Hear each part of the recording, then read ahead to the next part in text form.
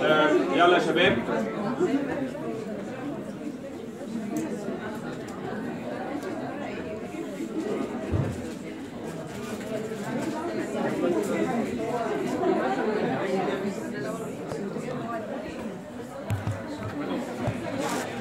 بالنسبة لل Guillain-Barré syndrome إحنا اتفقنا ان إحنا عندنا المشكلة موتور لكن عندنا شوية تنميل paresthesia وعندنا شوية حر وعندنا شوية autonomic يلا يلا.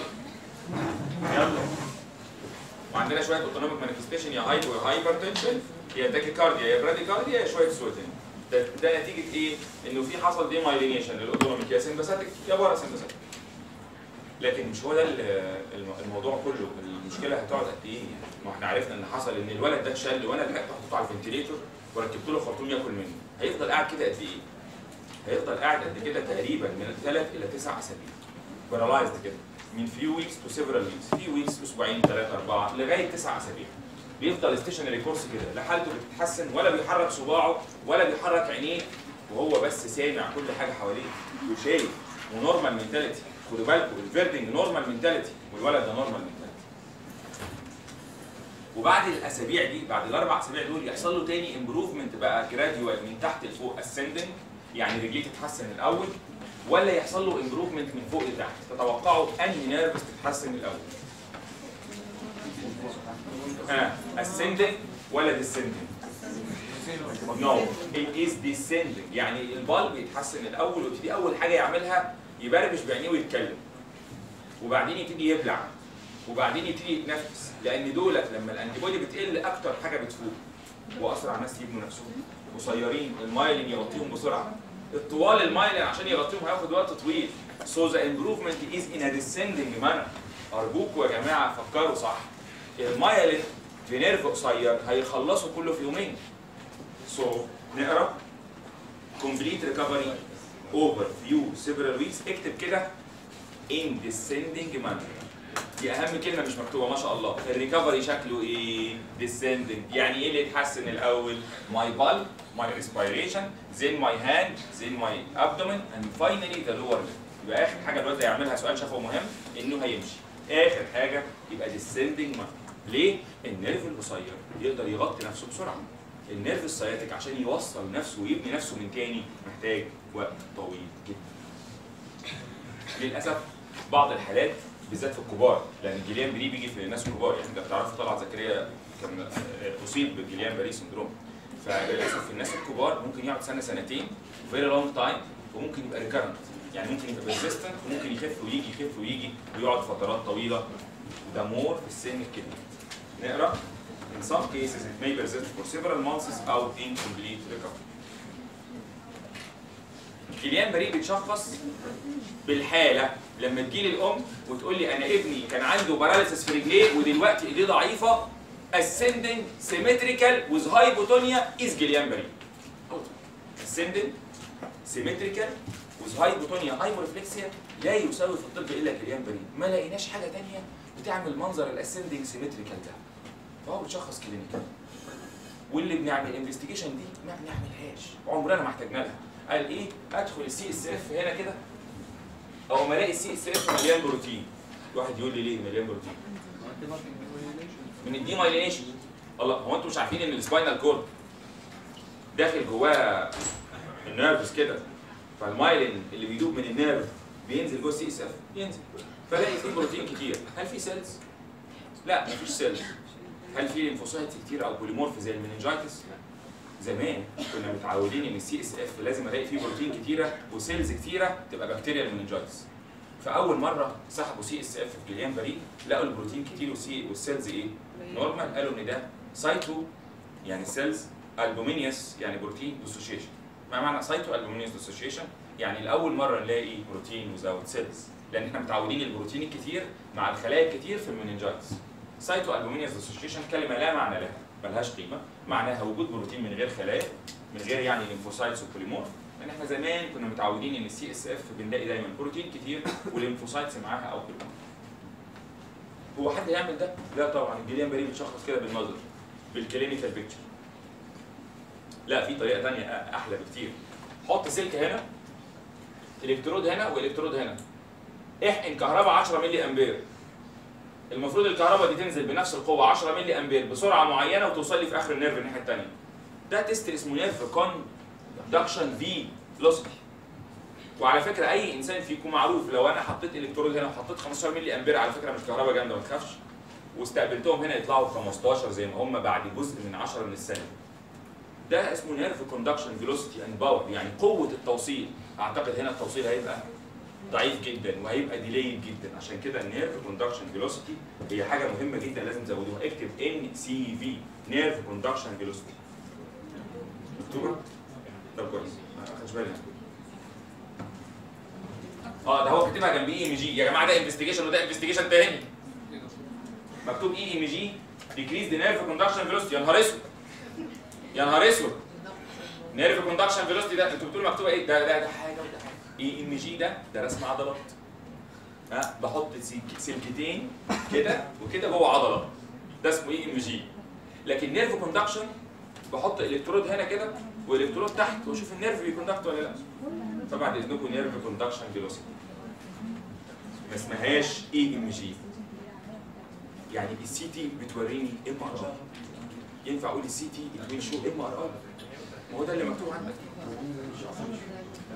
ال EMG هتوريني برضو ال pattern لكن مين الأفضل في ال diagnosis nerve conduction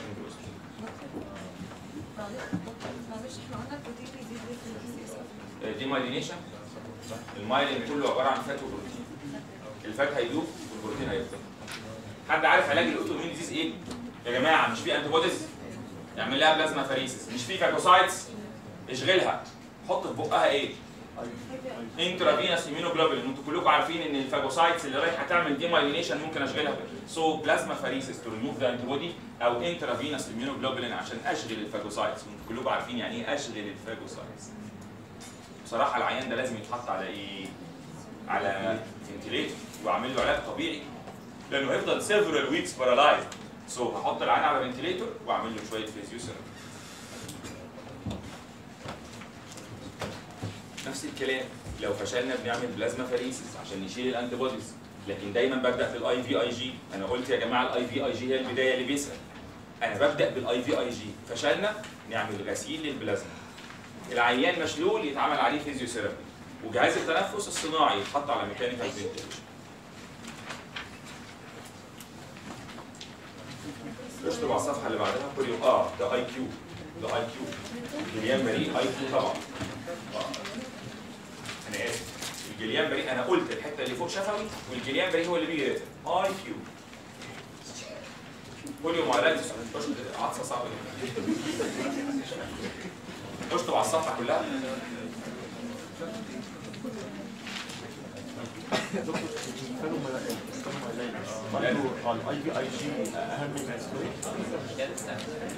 أقول لكم على حاجة خبر كده حلو.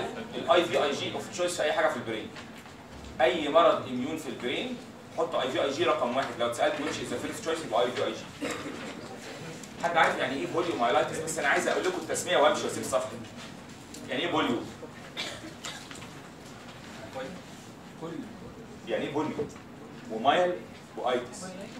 myel يعني spinal cord itis؟ polio كله. حلو جدا. بص يا سيدي أنتوا عارفين إن ال polio بيجي على ال anterior إيه؟ على ال anterior horn ولا posterior horn؟ بيجي على ال anterior horn. طيب إيه رأيك بقى إن ال anterior horn ده white matter ولا gray matter black matter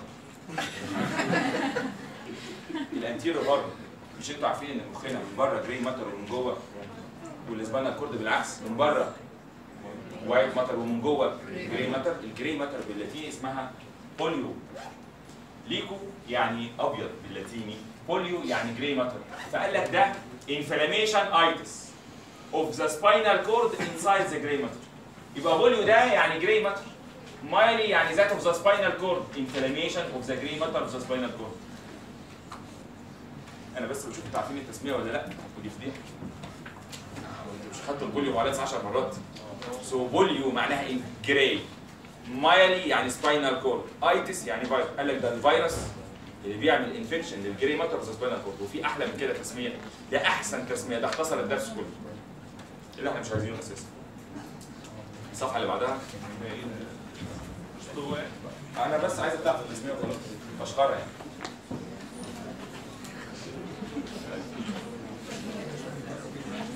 يلا progressive motor weakness اكتب شفوي إيه ال causes ال etiology بس اللي شفوي. progressive motor weakness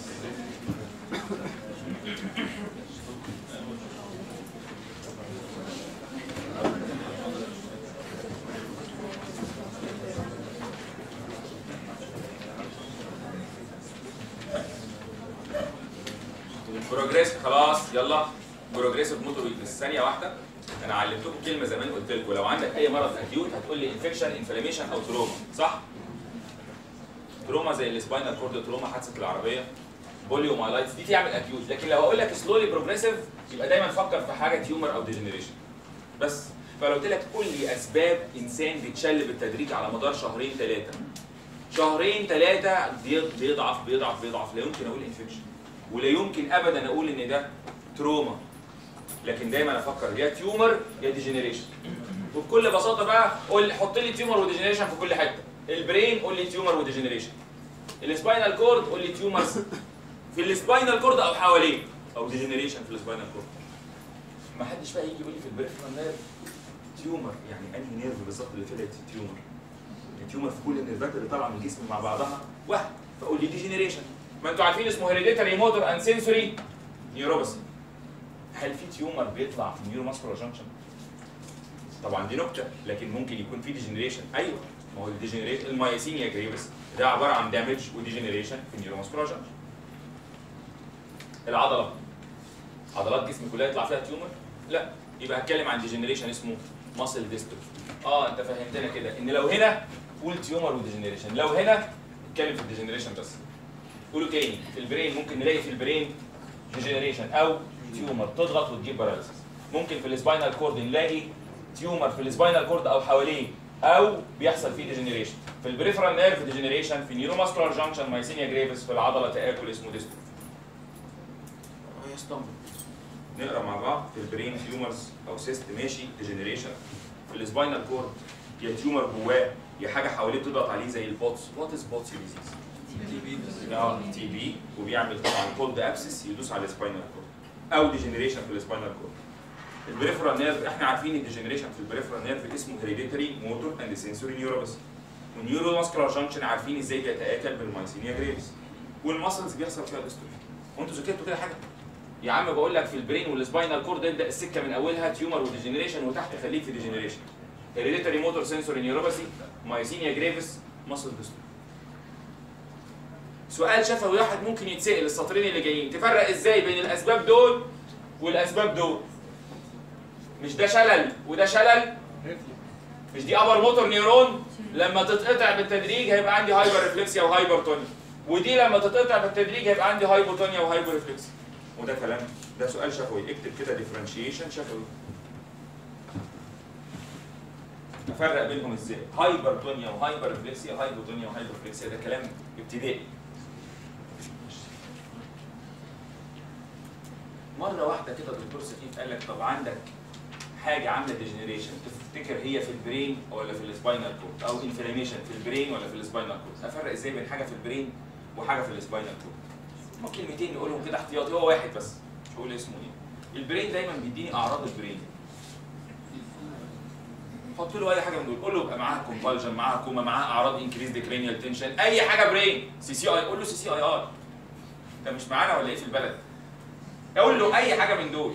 لكن في ال spinal cord غالبا ال damage بيبقى واخد ال lower limb وتلاقي ال upper limb سليم. دايما لو عنده مشكلة في ال spinal cord هنا كده هتلاقي ال bladder بايظه ال lower limb بايظ. bladder وال lower limb بس تلاقي ال upper limb كويس وتلاقي الراس كويس. فغالبا بتبقى المشكلة في ال spinal cord affecting bladder و lower limb bladder و lower limb علموني كده على diagnosis of the cause في ال cerebrum convulsion increase the cranial tension واكتب بوكوما يعني. آه ما هو tumor بيعمل coma CCR في ال spinal cord غالبا هتلاقي ال lower limb هو اللي affected وهتلاقي فيه bladder مشكلة في ال bladder إذا لو الدكتور سألني أفرق إزاي بين حاجة في ال spinal cord وحاجة في ال brain ال brain CCI ار ال spinal cord حط. يبقى دايما المشاكل في ال lower limb مش في ال upper limb بقية الصفحة تشطب عليها وتقلب. هو ليه lower المفروض؟ لأنه دايما ال damage في ال spinal cord بيبقى في ال distal segment أكتر من الروكس هو لو كان في حاجة بتتأكد في ال spinal cord. حاجة هتضغط الحته اللي تحت. أمراض ال spinal cord كلها من أول dorsal dorsal من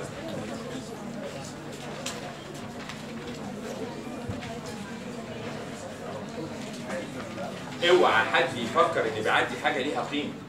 خالص.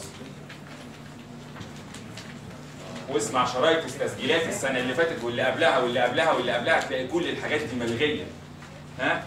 تمام؟ فمش بلغي لك أنت وما بلغي لا الحاجات دي بقى لها 10 سنين بلغي يا ريت ما حدش يروح يسلم لستة رئيس الاسم الحاجات اللي عشان دي حصلت في سنة الفراغ. في سنة الفراغ واحد راح كده كتب لسته بالحاجات اللي الحاجات دي اتلغت. ممكن تلغيها لنا؟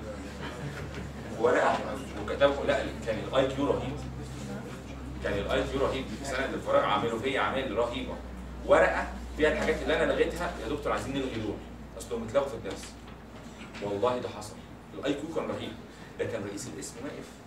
والطالب واقف يقول للسكرتيرة أنتوا الغياب اللي بتاخدوه ده منظر على الفاضي. أنتوا كده كده مش هتعملوا لنا حاجة في الآخر. ما هم قالوا لنا كده.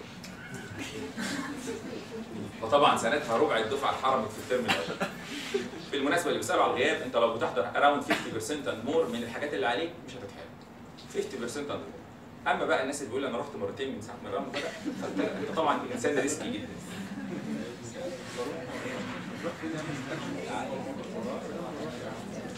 MCQ MCQ واضح إن ال chapter فيه في MCQs كتيرة لكن في meningitis في MCQ متوقعه فالانسان الضايع اللي مش عارف يلم نفسه خالص وداخل يوم الامتحان يذاكر ال meningitis أما الناس الشاطرين هيذاكروا ال meningitis وشوية ال MCQs يعدوا عليهم. what is Duchenne muscle dystrophy إحنا سمعنا عنه في chapter ال genetics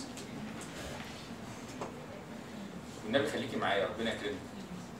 نفسي لفة كده وأيوة. مش هتوحشك دي معاكي طول اليوم لكن أنا معاكي ساعتين بس. ال Duchenne muscle dystrophy هو عبارة عن degeneration في ال muscles بسبب جين اسمه dystrophin موجود على ال X chromosome. البنت عندها كام X؟ اثنين فعندها مصنعين بيطلعوا البروتين ده اللي اسمه إيه؟ dystrophin البروتين ده هو المفتاح بتاع ال surface بتاع ال muscle cell. يا نهار أبيض. المفتاح اللي بيسمح بدخول الكالسيوم. يعني هو ده المفتاح اللي بيسمح بدخول حاجة اسمها الكالسيوم. لو abnormal يدخل كالسيوم كتير قوي فالعضلة تتحرق وتموت طب يا دكتور البنت عندها اتنين لو واحد بايظ مفيش مشكلة التاني هينتج شوية dystrophin ي control لكن يا دكتور لو بعتت لابنها ال dystrophin البايظ هو X إيه؟ Y هيبقى عنده المصنع كله عطلان عنده abnormal dystrophin أو مفيش dystrophin خالص الكالسيوم يجري يخش الإيه؟ ال muscle يعمل لها damage ويا إما ال damage ده ينتهي ب fibrosis زي الحته اللي أنتم شايفينها دي في ال biopsy يا إما ينتهي fatty replacement بكميات كبيرة وده اللي ساعات يخلي العضلة كبيرة على الفاضي. pseudo وليس true hypertrophy بعض العضلات بيحصل فيها fatty infiltration مش عارفين ليه وبعض العضلات بيبقى fibrous تشوف تلاقيها بقت ضامره جدا جدا جدا. This مرض is X linked recessive يبقى بتنقل من الأم يعني ألاقيه في في خالد مش في عمه تمام؟ ده سؤال XQP. يقول لك دور عليها في عيلة الأم ولا في عيلة الأب؟ يا جماعة الأمراض ال X linked recessive اجري أدور عليها في عيلة الأم. على فكرة أنا بحكي لكم قصص حقيقي من الواقع. والله والله والله والله وحياة عينيا الكلام ده حصل. أنا واحد صاحبي بيقول لي ابني مشيته غريبة شوية. عنده كام سنة؟ عنده ثلاث سنين. وأخوه كبير برضه بقى طلوع السلم عنده صعب. بس الولد ما شاء الله الله أكبر صحته حلوة. قلت له يعني عرفت إزاي إن صحته حلوة؟ ما شاء الله. يقول لي لو أنا بديله شاور عضلاته كبيرة. يا أسود. مش عارف يطلع سلم وعضلاته كبيرة؟ قلت له لا معلش. مامته ليها أخوات. قال لي أنت مركز معايا؟ ولا سرحان إيه مامته ليها أخوات؟ بقول له مامته ليها أخوات ولاد. أنا أول ما قال لي عضلاته كبيرة والولد مش عارف يطلع السلم أنا فكرت في الدوشين. فعلى طول قلت له مامته ليها أخوات ولاد. قال لي كان ليها أخ ولد بس مات وهو عنده 19 سنة. قلت له مات إيه؟ قال لي مات مشلول. قلت له يا نهار أبيض. قلت له روح حلل التحليل ده. وقطعت صلتي بيه لأن أنا عارف إنه فعلا بعد أسبوعين قال لي عيالي الاثنين طلعوا Duchenne muscle dystrophy و Duchenne ده fatal disease ملوش حل. هيموت هيموت. يا ابني لازم تجهز الفب دلوقتي. يا ابني يلا. في إيه بقى؟ إيه؟ إيه ده؟ أنتوا syndrome والله العظيم القصة دي حصلت أنا مش ناسيها. العيلين طلعوا Duchenne. أرجوك لما هتتجوز واحدة من ضمن الحاجات المهمة لازم يكون ليها أخوات ولاد. يكونوا healthy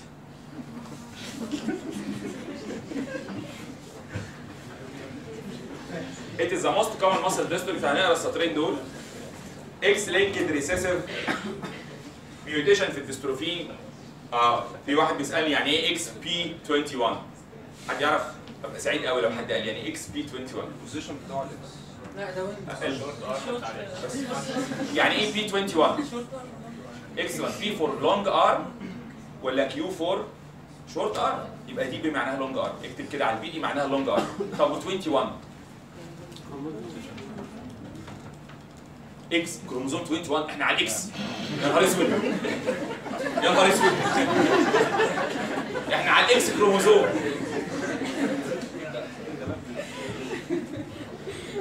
Each chromosome have a very area narrow areas named areas of breaks. وال areas دي standard يعني الكروموزوم حقيقي لما تكبره تلاقي فيه مناطق سهلة الكسر. وبالتالي الكروموزوم ممكن تلاقي فيه حتت ضيقة جدا وحتت واسعة جدا like this المهم يعني ال areas دي ليها أرقام. number 1 number 2 number 3 number 21 على ال long arm of X chromosome دي قلة أدب. إن أنا أحط حاجة زي كده ال undergraduate انه الكروموزوم عليه مناطق حاجة اسمها fragile breaks سهله الكسر وإحنا مرقمينهم عشان الأماكن دي كأنها landmark انت معلم طريق شجر معين فيه. طب الطريق بتعلمه بشجر والكروموزوم بتعلم بإيه؟ بتعلم بالمناطق سهله الكسر ف Xp 21 يعني المنطقة رقم 21 الضيقة. 21 إيه؟ الهبل ده؟ 21 أنا بدأت اقرب وده هبل. يتشرح إزاي ال undergrad 21 على ال X chromosome في ال long arm. استفدت أنت إيه دلوقتي؟ ما أقول لك ال dystrophin gene وخلاص. حسبي الله ونعم الوكيل. المهم يعني نقرأ. ده defect in production of protein called dystrophin خلاص الكلام. Which maintain ال integrity of the muscle. هو بي maintain ال integrity إزاي يعني؟ هو ال dystrophin ده اللي محافظ على ال membrane. لا لا خالص هو كل الحكاية بيمنع دخول الكالسيوم الزيادة. لو الكالسيوم دخل بزيادة جوه العضلة بيحصل لها abnormal contraction يؤدي إلى degeneration لأنه بي accumulate metabolites فالعضلات العضلات وكل fiber هتموت في وقتها. طبعا العضلات لما بتموت بيحصل لها replacement يا fibrous يا fatty tissue نقرأ. So influx of calcium وبعدين irreversible destruction. وال destruction ده هيبقى حاجة من اثنين يا إما atrophy يا إما fat replacement ال fat replacement يا deltoid يا إما calf. أشهر حتتين بتلاقيهم مكلبظين قوي في العيال ال deltoid وال calf. فلما سألته بيقول لي آه فعلا. لا رجليه لا السمنه بتاعته جميلة. وهو بيقول لي السمنه بتاعته أنا ما زلت فاكر المنظر ده والكلام ده كان تقريبا من 15 سنة. يقول لي السمنه بتاعته حلوة يا دكتور. صح. ف أنا عايز أروح أوريكم الأول ال story. هنركز قوي في ال story دي. هو رغم إن الموضوع وراثي لكن العضلات بتاعتنا بتستحمل كتير. أنت بيجي لك تمزق في العضلة وترجع تاني والعضلة تبوظ وترجع تاني. يعني العضلة مش هتظهر عليها الأعراض ساعة الولادة رغم إن ال damage ده since birth لكن gradual degeneration في ال muscle with gradual replacement of fat and fibrous tissue بيبان على سن خمس سنين. وبيبان في العضلات اللي شايلاك أكتر اللي هي البروكسيمال ماسلز تحت الكاف الكوادريسبس الابدومين الباك ما يبانش على العضلات الصغيرة. so so, تعالوا نبص على الأطفال اللي عندهم Duchenne وناخد timeline لحياتهم. نبدأ حياتهم من الأول كانت بادئة إزاي؟ طبيعي خالص. ولا يبان عليه حاجة. في ال early months every thing seems normal. طفل سوزوش 8 شهور ولا حاجة خالص. sitting عادي أهوت وبيحبي 8 شهور بيحبي ده زي الفل يعني بس بعد كده هيبان إن هو مرق مرخي بيقع بسهولة. اسمها clumsy gait. By the age of 3 ثلاث سنين تبدأ تظهر عليهم مشاكل تآكل العضلات. في ال proximal muscles اللي بتساعدهم يقوموا ثلاث سنين مش عارف يقوم عنده مشكلة إن هو يقوم إزاي؟ مش هيقدر يقوم فيضطر يلف كده وابتدي يحاول يقف بطريقة غريبة جدا. إنه بيسند على رجله عشان يقف. ياه ده أنت ضعيف قوي للدرجة دي. وبعدين آه، لا لا تستهبل أكتر. هو مش قادر يطلع السلم أربع سنين بيشد على بايديه عشان يقدر ي climb stairs لأن عنده مشاكل في ال quadriceps muscles وال muscles of the abdomen بتاعه. خلينا مركزين أكتر. خد بالك ال scapula ظهر قوي في ظهر by the age of 6 years. المشي نفسه بقى صعب. تلاقي عنده مشيه مشية البطة waddling gait عمال وسطه يروح ويجي. نتيجة إن في weakness جامد جدا في ال pelvis فال pelvis مش متثبت في ال trunk. مشيه البطة دي عارفينها تمام؟ This waddling gait ورجليه تقع يرفعها تقع. يرفعها تقع. tip toe position رجليه كل ما يرفعها تقع.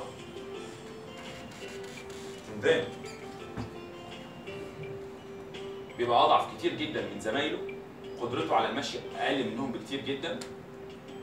بص في فرق جامد جدا بين ال healthy وال unhealthy رجليه واقعة ال waddling gait مشيه البطة وسطه عمال يترقص يمين وشمال لأنه مفيش pelvis متثبت في ال trunk ب sacrospinalis كويسة كلكم عارفين ال sacrospinalis ال wasting باين هنا وال fibrosis واضح جدا. بصوا ال pectoralis بصوا ال biceps وال triceps شوف عشان يقوم من على الكرسي محتاج يسند إزاي؟ لأن عضلات ال back وال buttocks ضايعة. بص ال waddling gait بص ال tip toe position ورجليه اللي واقعة بص ال waddling gait الماشيه دي.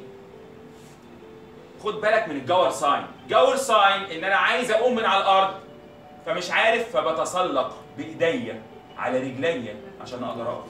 يا ورغم كل ده في calf muscle كبير.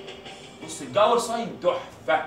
Gower sign واضحة جدا. to climb your body to stand أكأني بتسلق على جسمي عشان أقدر أقف. بس خد بالك إن ال course of the disease وال progress أكتر وأكتر لأنه ال waddling gait بتزيد. وال muscle weakness بيزيد وال hypertrophy بيزيد برضه في ال calf muscles تلاقي ال calf muscles كبيرة. واضح جدا إن الولد ده لما ال degeneration يعدي 10 سنين هتكون العضلات بتاعته مش شايلاه. فاكيد هنلاقيه بعد كده قاعد على كرسي. So he's in wheelchair عند سن تقريبا 10 سنين. هو ظهره بقى متني. ليه كده؟ ما هو ال vertebrae يا جماعة اللي بيعدلها هي العضلات اللي حواليه. ال vertebrae اللي بيعدلها ال muscles اللي حواليها. فلما العضلات ضعفت بقى عنده scoliosis أو حتى يجي له kyphosis وفعلا فوق سن 10 سنين بقى بدرت بقى. من wheelchair حرك الكرسي قال له واحد تاني ده إيه كل ده فاكر إن هو واحد. جبنا كذا واحد وبعدين بعد شوية حتى تيجي تشوف عضلات الإيدين تلاقيها صعب. بص إن الطفل ده لو عايزين يروح واحد تاني.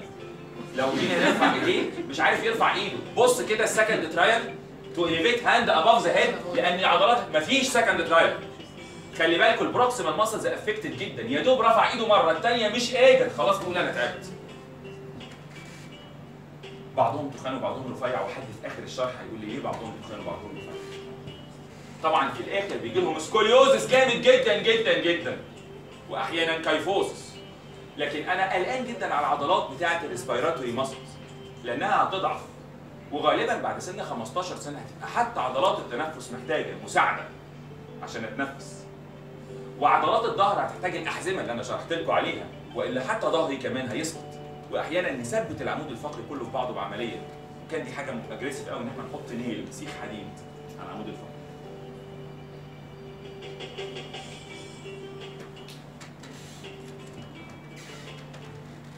آخر حاجة خالص بقى هتلاقي عضلات التنفس نفسها بدأت تتعب. وهنحتاج assisted machine ventilator هنحتاج ventilation هنحتاج يا إما CPAP معاه في البيت على طول ده جهاز بيساعد التنفس إنه ال airway يتحسن. ال mostly هيموت على سن 20 سنة. من chest infection من كتر ضعف التنفس بتاعه كل ده بسبب ال dystrophin gene تعالى بينا نبص ونقرأ هتلاقي نفس الكلام اللي شرحته في الفيديو هو اللي مكتوب. اقرا معايا.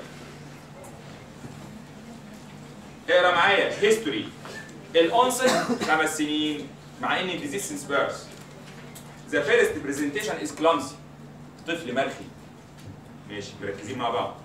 Difficulty in getting upstairs. مش عارف يطلع السلم. دي أول حاجة بنلاحظها عليه. وفي family history positive من ناحية خاله مش من ناحية عمه. انزل على ال examination هتلاقي بعض العضلات فيها إيه؟ بالنظر. pseudohypertrophy بعض العضلات فيها hypertrophy تعالى بقى نكشف على كل حتة في جسمه. أول حاجة عضلات ال pelvis هتلاقي عنده waddling gait شفتوها؟ وهتلاقي عنده حاجة اسمها positive Gower sign وريتكم أحلى positive Gower sign في التاريخ.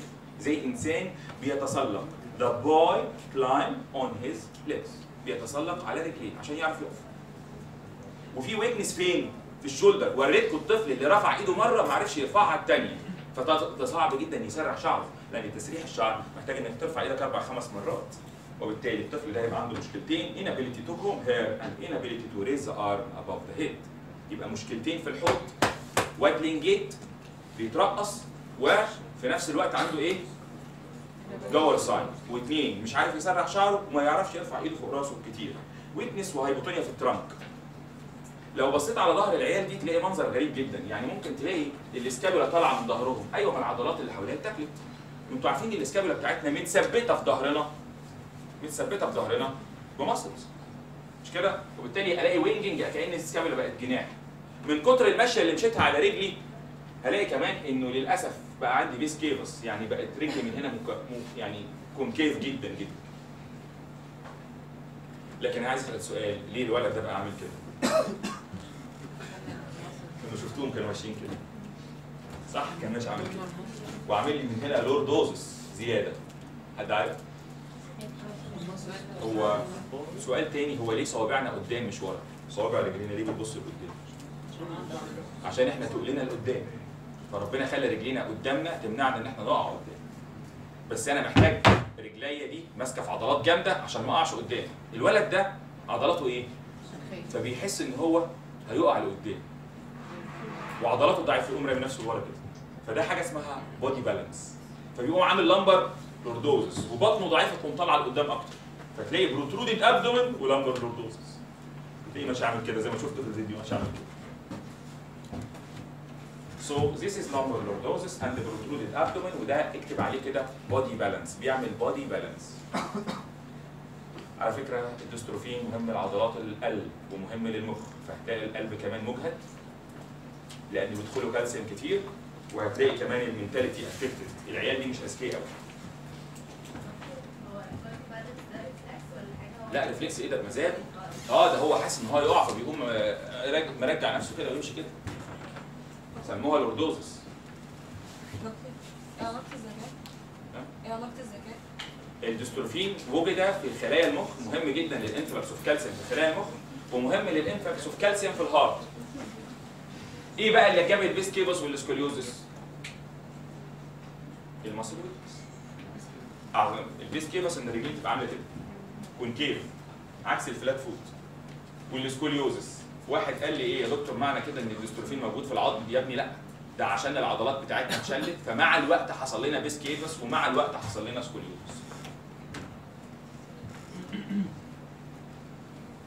ويجي هنا السؤال المهم هو العيال دي ممكن إحنا نعمل لها investigation ونعرف من وهي صغيرة نقول أنا يا دكتور أخويا عنده Duchenne. خلفت عيل. ينفع أعرف إن هيجي له Duchenne وهو عنده ست شهور؟ آه since birth اعملي له creatine phosphokinase CPK وده انزيم بيطلع من العضلات لما تموت. ألاقي الانزيم ده عالي جدا. أنت عارف عالي كام؟ ال normal لغاية 150 هتلاقيه 2000 3000 10000 very high يعني معظم دول العالم بتعرف ال Duchenne at birth إحنا فرحانين بال thyroid. العالم كله بيشخص كل حاجة at birth فرحانين بال thyroid بس لكن ده screening في كل دول العالم. أقول لكم على خبر مفاجأة. ولا أخ ولا حاجة. خطيبتك؟ هي carrier ولا مش carrier؟ يعمل لها CPK اطلع above the هو مش هيبقى كتير عالي قوي بس هيبقى the- عمره ما يبقى 150 يبقى 180 200 300 above the normal يعرف إنها carrier معنى كده إن ال carrier عنده some affection لأنه الإنزيم العالي معناها إن العضلات مش normal بس عمر ما هيجي لها أعراض في حياتها. عضلاتها هتعيش عادي. بس عندها سنة elevation في ال CPK اكتب الملحوظه دي على جنب. CPK is above normal ده carrier female enjoy إزاي تعرف خطيبتك سليمة ولا لأ؟ اوعى تتدرس marked elevation even at birth. بيستعمل في screening اكتب كده it is elevated in a carrier زمان كنا بنعمل biopsy نلاقي العضلة فيها fat دلوقتي بقينا ما بنعملش biopsy بنرسم العضلة نعرف إن ده Duchenne. هو هو. بس ال biopsy كانت بتورينا صورة واضحة. لكن دلوقتي ال EMG بيشخص من غير invasion والأحدث والأحدث نعمل gene study لأن ده مرض X-linked recessive وأي مرض genetic نعمل له gene study حطها كلمة وخلاص. مفيش علاج على. حد يقول لي العيال دي كانت محطوطة في مكان physiotherapy صح؟ كان مكان رياضي صح؟ وبنديهم أكل. very special food عشان ي... ولما نجي لهم chest infection antibiotics لو جاله respiratory failure نحطه على CPAP CPAP ده جهاز continuous بيدي pressure عشان نعرف نتنفس بسهولة شوية. بس في الآخر هيموت. طب ولو ظهره باظ نحط له إيه؟ splint مش كده ولا إيه؟ وبالليل بدل ما رجله عاملة كده نعدلها له. اسمه positioning فاكرين؟ مش عملنا physiotherapy و positioning و splint في ال CP. طيب ما هو ده paralysis بقى. حطه على ventilator في كورتيزون ليه في كورتيزون؟ عشان ال muscles ما تموتش من الكالسيوم. مش الكالسيوم بيخش العضلة؟ ادي كورتيزون يهدي ال inflammation جاب نتيجة ولا ما جابش؟ التخان اللي قدامكم والرفيعين دول إيه الفرق بينهم؟ منهم كانوا بياخدوا علاج بالكورتيزون ومنهم ما كانوش بياخدوا علاج والاثنين controversial ومحدش قال إن الكورتيزون بيجيب نتيجة. تحت التجربة بقاله 20 سنة. فبعد إذنك مكتوب corticosteroids عشان تقلل ال mob... تحسن ال preserve ال mobility. يعني preserve العضلات يعني بتمنع ال muscle damage ولا حاجة. اكتب كده controversy يعني أهم كلمة تقولها لي جنب الكورتيزون. كورتيزون الفيديو اللي قدامكم كان فيه عيلين تخان وعيلين رفيعين. دول واخدين كورتيزون هيموتوا تخان. ودول هيموتوا رفيعين. أنا شايف إن الوزن الزيادة مشكلة.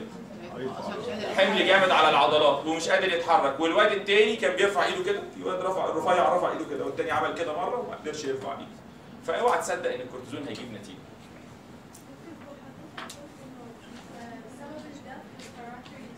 mostly هيموت ب respiratory infection في ال other system مكتوب في ال complication و cause of death ندور عليها كده. ننزل تحت العنوان prognosis unable to walk على سن 10 سنين. ده اللي حصل. اكتبوا كده بين قوسين. on wheel chair مش ده اللي أنتوا شفتوه في الفيديو؟ وعلى سن 15 ل 25 سنة بيموت ب respiratory infection أو respiratory failure مكتوب heart failure اكتب rare بس حد شاطر يقول لي ليه heart failure rare عشان هو أصلا يقول له يعني. ما هو هيجي له cardiomyopathy ليه ما يجيلوش heart failure عشان هو bedridden اسلاموا لي اكتب كده heart failure is rare because the child is bedridden يعني غالبا بيموت ب chest infection مش ب heart failure مكتوب تحت heart failure آخر سطر. آخر سطر. heart failure is rare صح كده؟ لا هي مش بت prevent الكالسيوم هي بتخلي العضلة يخش لها كالسيوم بس ما يحصلهاش damage بتقلل ال inflammation of the muscle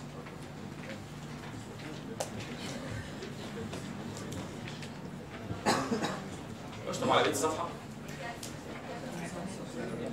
الكالسيوم مش بيعمل inflammation الكالسيوم بيعمل more metabolism في العضلة sliding actin over myosin وبعدين العضلة يحصل accumulation of metabolites وبعدين يحصل damage لل membrane تيجي ال phagocytic cells تاكلها وتعمل مكانها damage مش عليك. آه، كل واحد يطلع ورقة أو هوزع عليك ورقة عشان الامتحان. آه أنا في امتحان بقى كتير. حد يخبط على كريم يا جماعة بسرعة؟ حد يجيب لنا كريم بسرعة يا جماعة قول له جيب ورق. يلا يا شباب بسرعة ربنا يكرمكم.